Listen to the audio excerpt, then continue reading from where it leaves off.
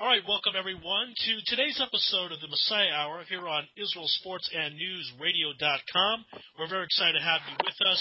If you have any questions, comments, or concerns, you of course can email me Messiah Hour at gmail.com, and the show on YouTube is known as the Messiah Hour. Type in the Messiah Hour with Ari Lewis, and you'll find out a bunch of different videos, different shows we've done. And of course, we're going to do a little election wrap up. This show is a very interactive show, and people have been writing to me asking me to do a show post election to see where we're at. And on the line right now, a favorite of ours from Real Clear Israel, Leslie Ann Stoffel. Leslie, welcome back to the show. Hey, Ari, nice to, nice to talk to you again. Absolutely. So Bibi wins, and what was interesting in Israel the night of the election, it was reported that he was neck and neck with Herzog, but it turned out not to be true. He had a pretty clear victory. What do you think about the media's coverage? It seemed like they did not want the prime minister to maintain his position. So tell us your thoughts about that. Well, yeah, um, the, from my understanding, and I do know this, that that the intelligentsia, so to speak, and the the media there is very, very left wing, and in some cases extremely so. And they were they were just ripping Bibi to pieces. And they were even going after his wife and stuff like that. And they very much did not want him to win. And um were they were really trying to push the agenda and trying to make people think that their only option was to vote for Herzog and Livni and make make it sort of like a fait accompli, like it was already all done and done and over with, so you might as well just vote for them and even the media here, um, you know, they, they slant the stories against him. Um, I noticed that too. So, uh, it, it, to see him actually come out ahead as much as he did was, was really kind of a bit of, of, of a surprise for me. I did think it would be pretty close, but for him to come out ahead like that, I was, I was surprised, but I was, I was happy and I had been re- writing articles myself. Um, I wrote two articles for Politichicks. Um, and I wrote one for our United, no, I wrote two for United with Israel also because I was trying to get the voice out there that, that we in the West, uh, we really, really need somebody like Bibi. And I understand I've I've I've lived in Israel for various lengths of time, and I understand how hard it can be to live there, you know, financially and stuff like that. But what I noticed, um, just from a person, you, you know, just from a, a, a caring uh, citizen in the West, we really don't have any strong leadership in the West. We well, we do have Stephen Harper here in Canada, but I mean somebody who's really standing up and has the, you know, the gravitas to handle the situation with Obama and Iran and, and the different terror groups and things. I really believe, uh, believed and believe that we, not only does Israel need uh, Bibi, but the West does also. He's kind of like our Churchill right now at the moment.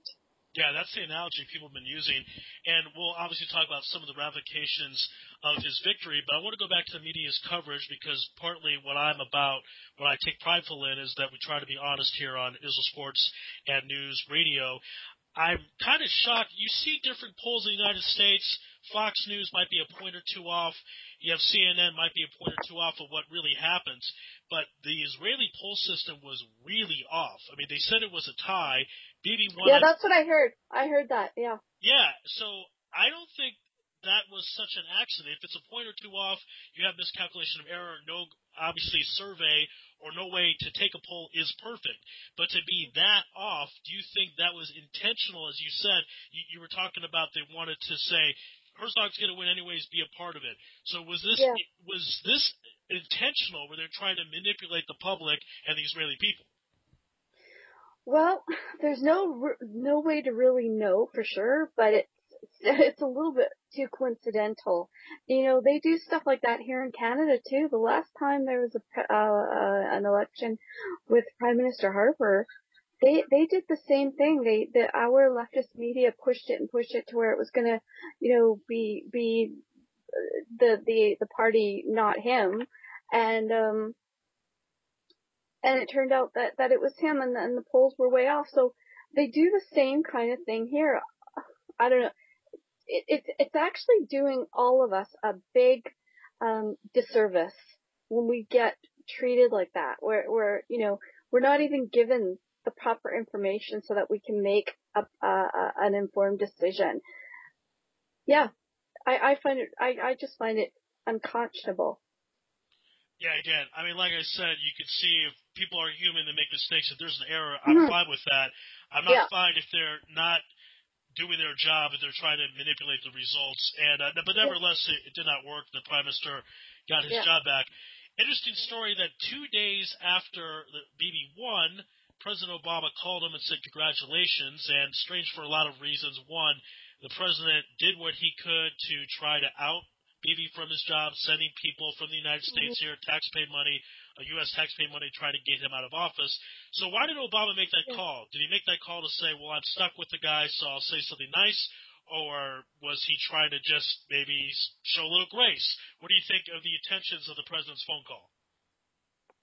Well, you know, he has to, he, he would eventually have to make that call because it's not just him that he he is concerned about. I think if it was just him, if he was the the emperor or the king as he seems to want to be, he probably wouldn't have made the call. But because he's got uh, congressional people and senators probably on his back, and also he's got um, you know Jewish lobby groups and stuff like that telling him that he he needs to do the right thing and just have the that's just, it's protocol, really. And for somebody who's going on and on about protocol and then he doesn't even follow protocol himself is, is pretty hypocritical. But, uh, I think he needed to open up the door of communication, but then he did the old Obama thing, which was, um, you know, I'm going to shake your hand with one hand and then slap you across the face with the other one, which was his little, you know, game was, well, I'm giving you a congratulation, but by the way, I'm going to be um, changing my tune at the UN, and I'm going to be putting more pressure on you. And by the way, you also were, you know, racist about the Arabs, and and he just has to turn everything around and turn it into a bitter feud when it does not have to be. And this happens only with his um with his allies, by the way, because he um, literally wants to bow and scrape to a terror rogue regime like Iran. You know, so what's that all about? Well, that's one of the things we had an episode on election night. What would the world and Israel be like if Herzog won, won versus Bibi?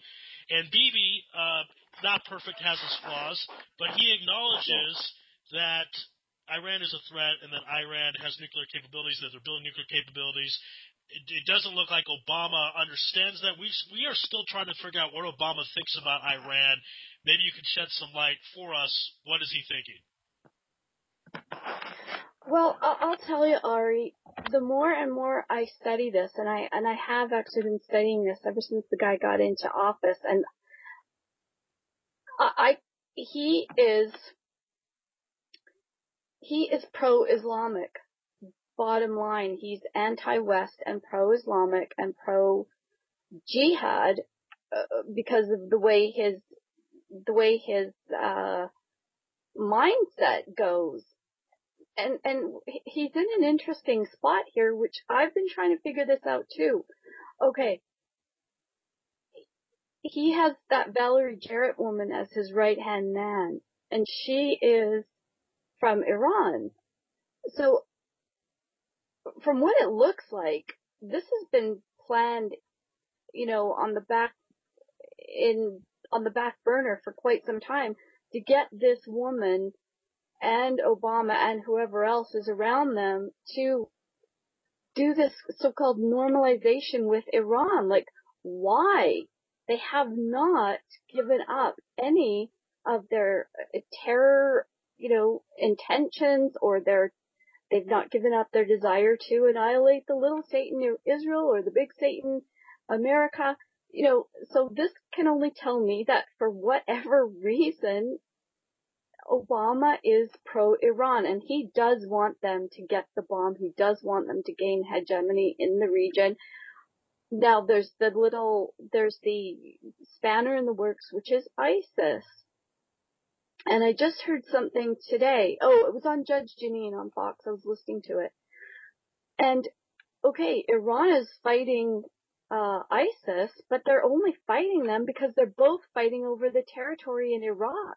So we've got, I just wrote, wrote about this in my recent, um, article for, uh, United with Israel, which is we've got dueling caliphates here. Iran wants a caliphate and so does, uh, so does ISIS. You know, and so who's gonna win? Well, is it gonna be Iran because they're gonna have the bomb? Like, I don't know, the, the kind of, the kind of, uh, scenarios coming out of this Obama regime and all of this stuff going on in the Middle East. I mean, this is stuff that you get in like a Twilight Zone movie. I mean, who can even think this? This is like better than the best script anybody could ever even think of writing as as fiction. You know what I mean? So, well, who can really get into the, the guy's head? The only thing we can do is judge his actions. And his actions are scary. Very scary. So let's talk about this. You're talking about that he wants Iran to get the bomb. Why? If that's not good for anybody, including the United States, so why would he want that? Well, here it is, Ari. He actually believes that the West is bad, that the U.S. is bad, that this has all been a big colonial, uh, you know, um, thing by the West and, and, uh, and if we, see, he doesn't see Iran as a terror state or he does not do, uh, moral, uh, he doesn't do moral clarity. He doesn't do, oh, well, the, the, this is, this side is good and this side is bad. And okay, granted, both, you know, the West and the, these Islamic regimes have their good and bad points, but the West tries to live by um, the rules of uh, the Judeo-Christian um, principles, for want of a word. But the, Islamic regimes go by Sharia, and Sharia law has is the complete antithesis of Judeo-Christian ethics and values. They actually believe in lying to somebody, you know, to lying to the West. It's called taqiyya, and they can get what they want if they just lie. So eh, Obama has this has this kind of mindset that he he he deals in moral relativism. Okay, the West and the Iranians and the all these other ones are all on on the same uh, page. And actually, he does something a bit weird, which is he, he thinks the West is bad. If he's going to judge one or the other, he'll judge that the West is bad and that the uh, Iranian regime is good. And that they've just been hard done by, and if they just get some jobs, and if their young people just have a nice little spring break, it'll all be good, you know, just jump on the back of his unicorn, go for a ride, uh, it'll all be good and it's, it's insane. And so what sane person can understand why Obama would want them to have the bomb? Uh, I, I, my brain can't even go there. I don't, I don't really know, but all I can say is from his actions, that's what he wants. And for whatever the reasons are, um, it's putting all of us in, in, in danger. All of us. Um, and I honestly don't know. And I, see, I put in my article too, I said that Bibi is our firewall against Iran and Obama. And I think that's the case. Like, at this point, all we can do is just try to thwart the guy as much as possible, like through, um, you know, uh, getting Congress to, to, to, to do put things through, to put measures in his way to stop him, you know, um, get Bibi to stand up and say things and get get him, you know, t- talking to the P five plus one countries and get them to start putting the kibosh and stuff. Like all we can do is try to thwart this guy for the next two years so that he the damage that he does is is diminished. Again, this is the Messiah Hour. You're listening to Israel Sports and News Radio.com. You can email us either the Messiah Hour gmail.com that goes with this show or the station in general, Israel Sports and News Radio.com. And our guests from Real Clear Israel, Leslie Ann Stoffel. So Leslie, we were talking about different reasons why perhaps uh, President Obama would want Iran to get the bomb, although it doesn't make a lot of sense. There are only approximately two years left in the in the president's term, if you will. It's really, I guess, a year and a half to be more accurate. A little less. Actually, if you go by the inauguration date, it's about two years. So in that time, could we somehow buy time? What what could be done to prevent Iran from getting the nuke in these two years? And then, do we hope we'll have a better president in 2000? Yeah, 16 election when they take over 2017. Well, I, I was thinking about that too because I, I'm I'm so concerned about this, and, and like I said, I was thinking, okay, well, you could get the you could get Congress to start putting things in place and saying, you know, anything that is being talked about in, in any deal with them, it has to go through us and we have to vote on it. And then he can also, Bibi can talk to the P5 plus one countries and get them on board and say, look, you know, here's what's really going on. I think France did something like that today. They said that um, they weren't happy with what was happening in this deal and they wanted some kind of guarantees and uh, whatever. So that's what I think he'll he'll have to do is he'll have to go behind Obama's back into ev- on in every level that he can and try to just, all we can do is thwart the guy. All we can do is just try to put roadblocks in his way, um, and, and, and just keep the damage to a minimum. Um, yeah, that's really all I can think of at, at, this, you know, at this time. And I have been putting some thought into that, but that's all I can think of right now, what we can do, because we are really on the verge here. I don't know if you've ever watched it, Ari. There's a really good video on um, YouTube, and it, it's about an hour long. It's done by the BBC, and it shows the entire um, scenario of when Chamberlain was meeting uh, Hitler in Munich.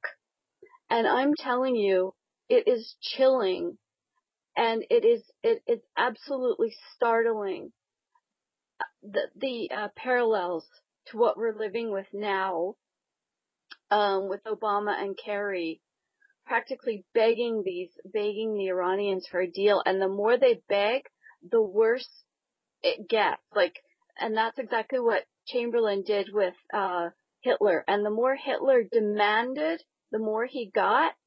And the bottom line is, as we all know, appeasement does not work. Appeasement emboldens the enemy. And it's the absolute worst thing you can do. And people like Obama and Kerry, like they just have mush brains from moral relativism and they just do not pay attention to history. And that's the worst thing you can do.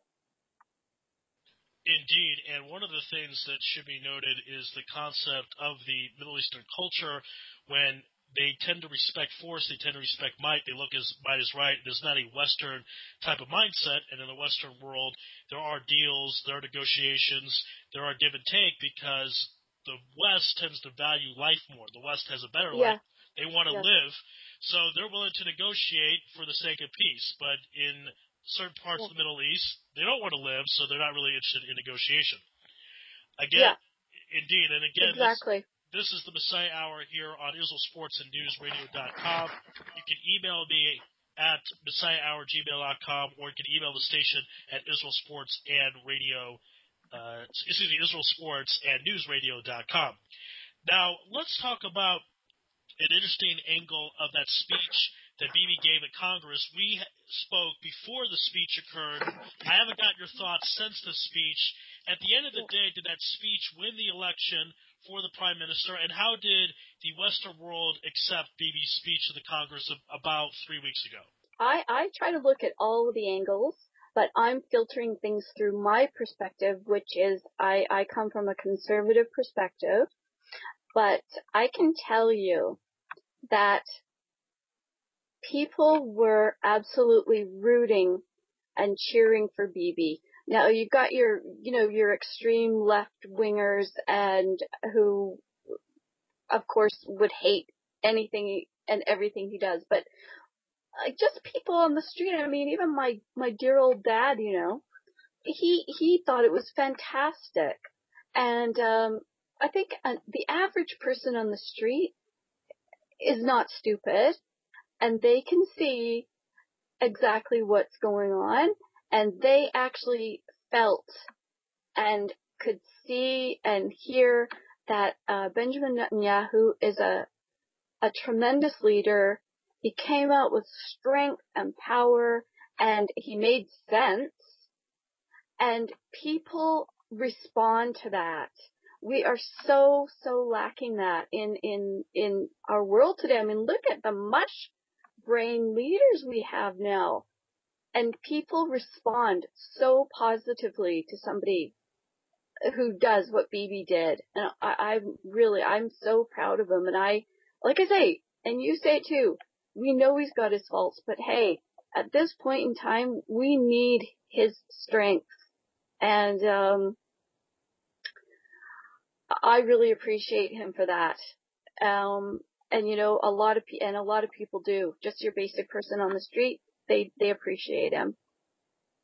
Now, there was an interesting incident in which there was some boycott of the prime minister's speech, parts of the Democratic Party caucus because of the whole protocol situation where President Obama didn't want him to speak in the Congress, but then Bibi did anyways, and the Republicans wanted him to speak.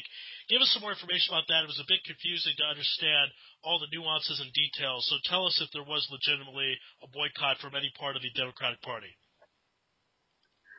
You know, I don't think, from what I could gather at the end, um, there were some that didn't go. Well, of course, uh, Kerry and Obama and Biden, none of them went. Um, and there were some from the Democratic Party that didn't go, but from what I heard, uh, that um, speech was it was like it was like a rock star. You know, people wanted tickets to see that. So really, that boycotting thing, it, it really didn't work. It, didn't work at all. And and even um oh what's that woman's name now? Gosh, it's gone because it's so early for me here. I can't. Ah, Pelosi, Pelosi. She pulled the stunt. Did you see that, Ari? Where she um when everybody would stand up to clap, she would stand up and turn her back to him. Wow, I did not see that, but thank you for sharing yeah. it with us. Wow. It was completely disgusting. And uh, yeah, so she was doing that. She was pulling all kinds of stunts like that. But in the end, I'll tell you, when somebody like Bibi stands up and tells people the truth and says says it like it is, they appreciate and respect that a lot more than what than the antics and craziness that uh, Pelosi and other ones were trying to pull off there. Wow. Um, I never really heard anything like that. Do you recall any time, have you covered politics for a long time, that someone would go to the speech, be in the audience, but turn their back when the other people were clapping. It sounds pretty immature. Kind of shocked that yeah. Pelosi did it. Has anyone else done anything like that?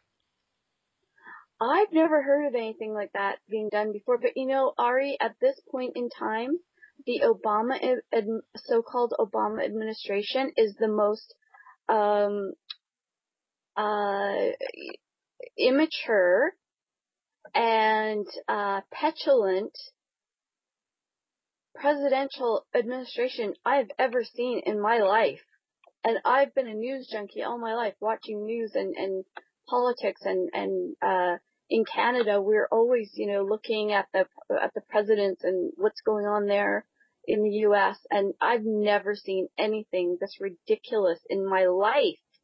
Because what a real president would have done would say, well, you know, there might have been some kind of a mix up there, but hey, I'm going to go. And then after Benjamin, uh, Prime Minister Netanyahu would have uh, said his speech, a real president would have stood up and said, well, I don't agree and here are my points. This is what happens in the real grown up world, but all bets are off, uh, Ari, with Obama. It's just like a free for all. It's like, you know, um, it's, it's, it's, it's just run amok. Like all this, um, insanity and, and, and just making up their own rules and, and I've never seen anything like it in my life. Really. I haven't. Again, this is the Messiah Hour here on Israel Sports and News Radio.com. Of course, you can email me, messiahhour@gmail.com, or you can email the station at Israel Sports and News Radio.com. Our guest from Real Clear Israel, Leslie Stoffel. So, Leslie, how do you think President, excuse me, how do you think Prime Minister Benjamin Netanyahu will now handle his situation because there was talk that he is going to try to make more of a right wing candidate, a cabinet, excuse me, have the left somewhat out of the government. Do you think he will maintain his word? Because he's actually done quite a bit of left leaning things so far in his second run as prime minister. He's released thousands of terrorists. He has given yeah, up parts of parts of Hebron. He's worked with Livni. Yeah. Do you think he will be more right wing this time around? Well, it's really hard to say, Ari, because um, I know that um, President Rivlin has started uh, with the meetings of the different parties today, and it goes on for another couple of days, and then they'll figure out, you know, who can work with who and all this sort of stuff. But it, it's really hard to say because you don't know, you know, he's got to offer top jobs to people and try to work deals and this kind of stuff. I'm hoping personally that um, he'll have a strong right-leaning government. Um, and then of course we do want our left-leaning friends to have some kind of a voice. I, I'm not that type of person that wants to kick everybody out who doesn't agree with me at all.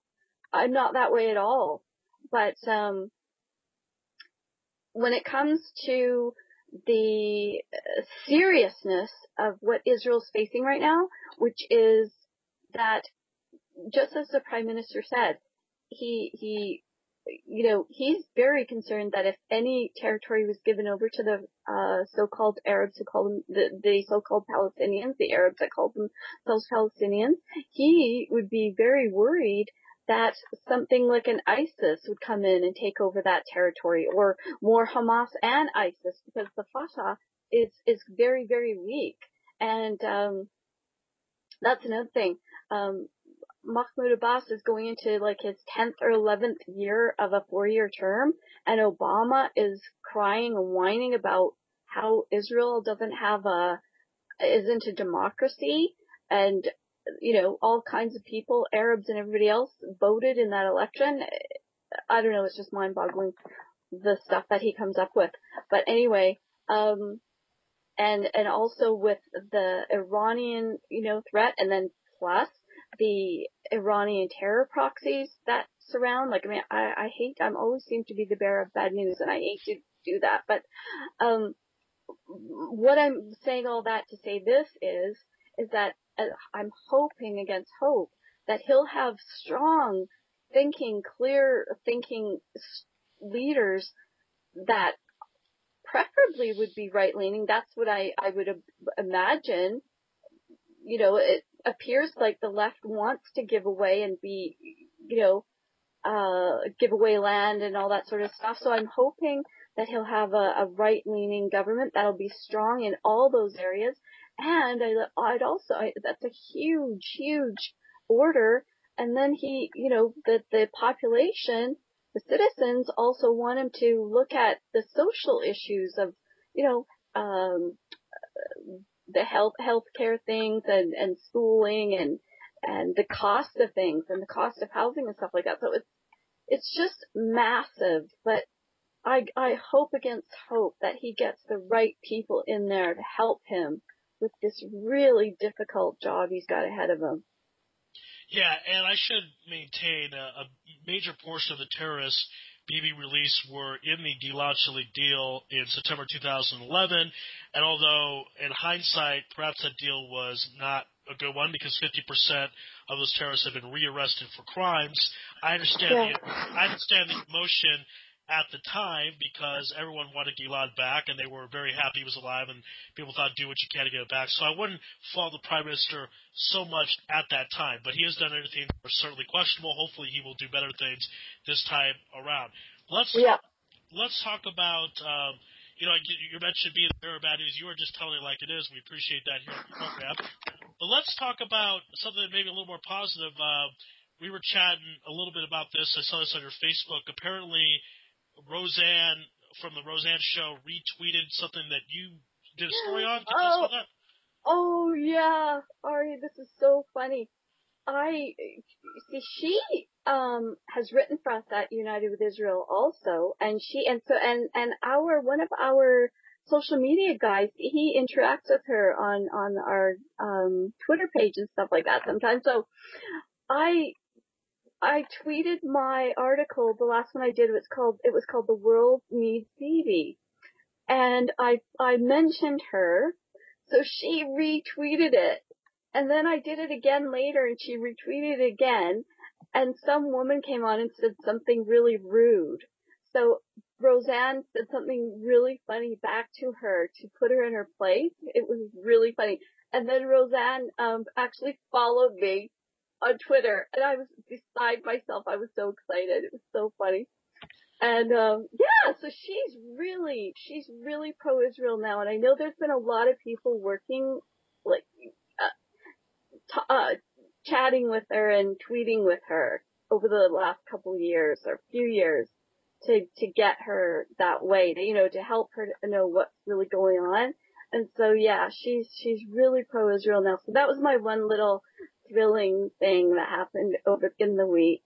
All right, indeed. So uh, that was something pretty, I thought pretty cool. You know, it's good to see that uh, you have the celebrities that are still involved. A very prominent show in the '90s, the, the Roseanne yeah. show. So that that was good. All right, we'll. Uh, we took a break of, of kind of something happiness. I have to go back to a sad story because I want people to, to know about it. Um, although this can there's something that can be done, and the reason why I bring up the story is is kind of what needs to be done. We can talk about it. There was a, a synagogue attack in London. Now this show is being recorded on Sunday, March 22nd. This happened in the nighttime of March 21st in London. There's video all over YouTube going viral of people attacking a synagogue in London. Uh, pretty scary sight. I know you saw the video as well. What were your initial thoughts of it? Yeah, I, I was I was quite scared. I was scared for the people inside and um very concerned about this um well it didn't look like those those guys were were Muslim as we talked about. It looks like they were, you know, thugs that are doing this anti-Jewish thing and whatever. But the bigger the bigger picture for me, which is is is getting scary. And somebody brought this up too. Can't remember who it was now. Shoot, somebody brought it up on my on my Facebook today about uh how with Obama's you know, every time he goes against Israel and against Bibi, it's it's hard to explain, but it it it just gives the green light for throws gasoline on the fire for the for the anti-Jewish crowd. And I think it starts, it's starting to become sort of acceptable and, you know, kind of cool to be anti, an anti-Semite and anti-Israel and all that kind of stuff now. I think it's, it, it, it's just growing like a plague all over the world. And, and these brash attacks are getting more and more and more. And I, I'm getting, I'm, I'm alarmed by it, frankly. I really am. Because one of these times, somebody's, you know, they're gonna charge in there and there really will be somebody hurt. There, remember a, a little while back, there was a young guy who was being, um, I think chased with a knife or something at Chabad in Brooklyn. Like it, that's right. Yeah, it's it's getting really, really. It is getting alarming. And, and there I, was and there was a, a synagogue attack at a bar mitzvah where there was a brave security guard right. that he died, and had he not died, there would have been perhaps 50 or more casualties. I mean, he was a total yeah. absolute hero. So it's it's scary yeah. times. Yeah, it definitely is. And on that, I I have no idea what we can do about that. It just nobody seems to be really addressing it. And you know, we don't have a president standing up and saying, you know, this is not acceptable and blah blah blah, and it needs to stop. And you know, even I don't even hear Prime Minister Harper saying anything unless he has and I didn't see it or hear it. But it, it's not being, uh, they're not putting the kibosh on it and doing anything about it as far as I can tell. What's also strange is when the president comes out and talks about it, he tries to make it sound like a non-Jewish thing, like the incident in France, the terror attack at the kosher supermarket. He called it random and yeah. didn't refer to them as Jews, referred to them as folks, and tried to say it wasn't exactly an act of terrorism. And I don't know if that's incompetence or he wants to try to insult people, but that's that would certainly insult my intelligence if uh, if that was the intention. Mission accomplished there. What about perhaps is it time? And we had Jerusalem Jane Keel come on the program. She's from Denmark. She she's not Jewish, but she thought it was time for the Jews of Denmark to leave and come to Israel. Would you say, mean, we have a lot of listeners all over the world, including Great Britain, is it time for the Jews of Great Britain to leave and come to Israel? Would you see an attack like that and think that's a sign it's, it's time to come home? Well, I, I personally, I, I don't like to stand somewhere and tell everybody what to do, but I would say, from what I'm seeing, that, uh, I, I'm what I would say is is that these places are danger are getting dangerous and it's going to even it's going to get worse. And I would definitely be considering making my move to Israel. That's what I think I would be doing if I was them, for sure. All right, and uh, before we have Leslie promote her uh, everything she does. She does a lot of great work for uh, the people of Israel, the state of Israel. Um, I do want to say it, just a very this is one of the saddest stories I've ever heard, but I bring it up because I just want to bring attention. If you haven't heard, uh, there was uh, seven children that died in a fire in Brooklyn. It was an accident. It was oh, was not yeah, it was not an act of terrorism uh, total accident. Um, it's the worst uh, fire as, as far as casualties since 2007. I just I, and I've been thinking about this all day, been very bothered. I'm very thankful I have the radio to at least have some outlet. But everyone out there, you keep an eye out. There's going to be different charities set up to try to try to help the family. Family's going to have to try to go on uh, and continue, and there's going to be different ways to help them, even if it's not financially. And everyone can keep an eye on that. We'll try to update people. There, It just happened last. It happened over Shabbat actually. So we're going to try to keep everyone posted if they can uh, make a donation or any type of help. We, I don't know of anything right now, but hopefully we'll be up to date. So everyone, just keep an eye on that. It's going to be all over uh, social media, Facebook. Anyway, but but as a reminder, it's uh, it's something that they need help. Something needs to be done. Um, yeah. Now, with that said, again, I want to thank you for coming on the program, very much so, because uh, you do a lot of great work. Tell everyone where they can read more about Real Clear Israel. I know you also write in different publications, so tell everyone about that. Yeah, well, if they go to my website, which is therealclearisrael.org, then all of my writing under our articles, blogs, and media is there. All of my social networking buttons, they can contact me there, are there. And also, um, I work for United with Israel, unitedwithisrael.org, and we're doing right now our Pesach, partnering with us, uh, for, with, for the IDF to buy, um, packages, uh, Passover packages for the IDF. So that's kind of the campaign we've got going right now if anybody wants to be involved with that and thank the, the soldiers. Um, yeah, so that's about it. They can just find me at therealclearisrael.org, um, where I'm at. Okay, great. And in a few minutes of the program, I wanted to thank Leslie for coming on because this is the first episode of my new site, which is IsraelSportsAndNewsRadio.com. And if you're listening to this program, um, and you're not listening on the website, and you go to the website, it may not be completely set up. We're still in the stages of setting that up, so bear with us. We're still working on all that. But you can always find our shows on YouTube. If you type in Messiah Hour with Ari Lewis, you'll see all our recent episodes that we put up. And if you have any questions, comments, concerns, or any stories you want me to cover in the future, or anyone you want me to interview, email me messiahhour@gmail.com. This show was done because we had fans and listeners write and say, "Hey, Ari, give us some post-election." news, and I thought there's really no one better than Leslie to come on to do that. So, Leslie, thank you for being on this first episode of Israel Sports and News IsraelSportsAndNewsRadio.com. Oh, thank you, Ari. It's always a pleasure. Indeed.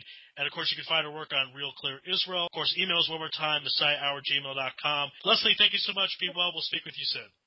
Okay, be well, Ari.